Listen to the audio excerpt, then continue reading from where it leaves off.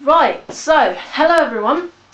I'm Michelle and this is Michelle's Movie Mayhem and this is my Twilight review. I know it's a bit late because like we're all awaiting New Moon and I have already done a New Moon trailer but despite that I want to have a full set of reviews. And also I watched the movie before I read the books because I didn't really know about the books. So after watching the movie I proceeded to read the book. Kristen Stewart, the thing is when I watched it, first of all, the movie and all of that, I, I found her quite interesting. But then when I read the book, I, I didn't think she was Bella at all. I think she sort of made Bella a bit more afraid and more nervous. I suppose if we split the movie and the book apart, Kristen Stewart makes a Bella who's a bit more, a bit more, a bit more vulnerable really. I don't see her vulnerability in the book. To me, in the book, she's more, she's quite strong-willed. Bella from the book is not Bella in the movie, I think. Overall, the, the camera work, the camera work I think worked quite well. So, there is Jacob. Oh, that's Bella. That is Jacob. And I really like Taylor Lautner as Jacob. Jacob is meant to be like the, the really cool best friend and like quite just a happy person. He is a very happy person. And the smile, the smile is just awesome. Look at that. That is a gorgeous little smile. Time for Edward Cullen. Okay, now it's time to review Robert Pattinson. That's him, right? I must admit, he is quite cute, quite hot, and he's got, he's got, let's have a little close up here. I think it's time for a close up. He's got the sculpted face, right? He does look statue-like. Except, is it just me? Or does that not really attract you very much at the moment? Okay, but that, see, that's much cuter. See, when he smiles, it kind of fulfills his face. But the part before that was not very hot. Honestly, it's kind of 50-50 with Robert Pattinson. Edward has wings. Look at that. That is a beauty shot right there. There is in fact an owl there. And Edward appears to have wings. And I thought that was a very nice touch because he's like the ultimate evil with angel wings. Isn't that lovely?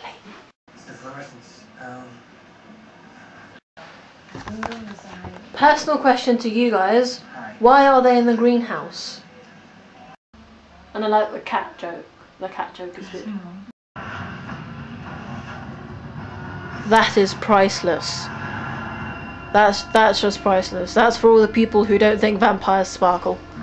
Now this deserves a bit of criticism really. Because this to me not a meadow. I expected a meadow. That is not a meadow. No, it's not a meadow. Look at it. It's barely a field. It's barely a front lawn, to be honest. I really did expect a meadow. Not a thing that's barely a lawn, not a field at all. But no, I expect meadow. That's just a random part in the middle of the trees that hasn't got a tree. Next part I had to put on here. It just just bothers the hell out of me. You know this wife as me.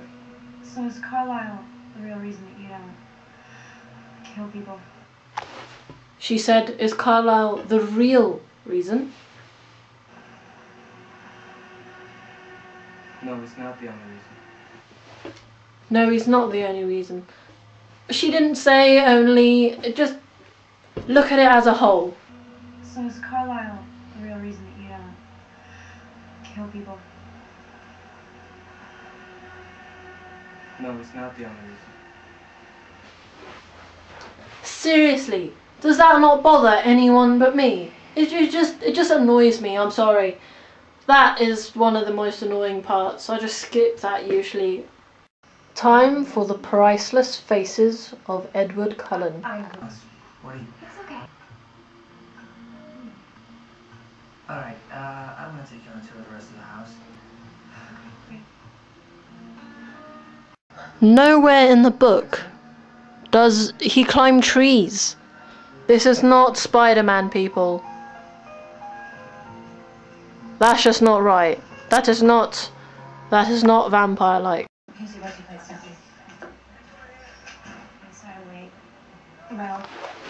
Unmissable Stephenie Meyer. Did you the R matches up? Baseball was awesome. The face, look at that.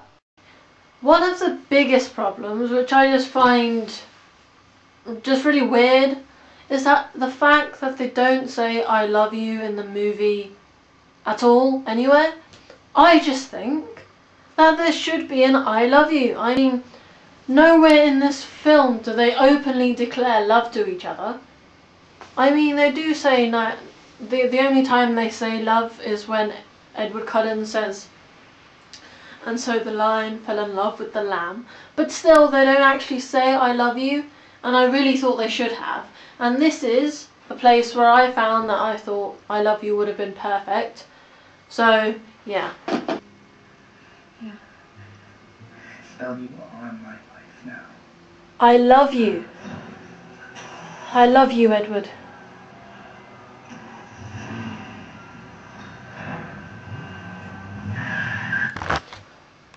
Perfect, don't you think? I mean, obviously, my voice acting as both of them was not perfect. But still, that would have been a perfect place to say, I love you. The fight scene, I felt, was one of the best uh, parts of the movie. I think Cam, right there, yeah, I think Cam uh, did a really good job for James. I think he just portrayed that evilness, but he's still vampire, so you're kind of attracted to him in that sort of sense. One of the scenes which I really don't like is the hospital scene, where um, when Bella has woken up from unconsciousness, and I feel that when Edward comes to talk to her and say like he's leaving, I just think she's shouting at him and sort of just really exploding all over the place. But I, I thought that she should be more pleading and sort of begging and just opening her heart out and just on the verge of tears because of it. I don't think it was exactly the right. I don't think the, the right emotion was conveyed. Converse at prom. It said stiletto in the book. Converse, look at that Converse, people. Is it me, or is that Victoria in the hall of the prom when Edward or Bella, Edward and Bella are in it? How, how could they put, how could they put Victoria right there at prom in the beginning? Wouldn't Edward have noticed her, you know, sensed her or something?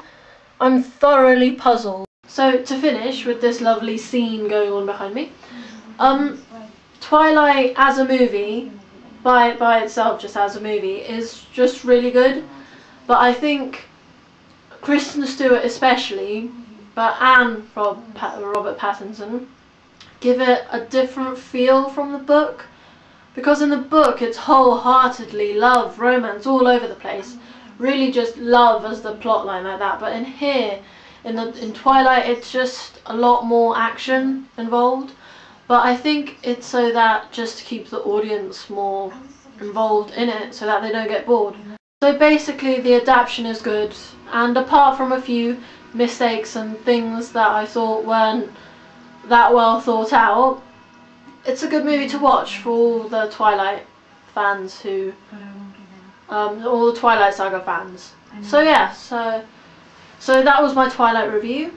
Uh, look out for my upcoming videos. Subscribe, rate and comment. See you guys.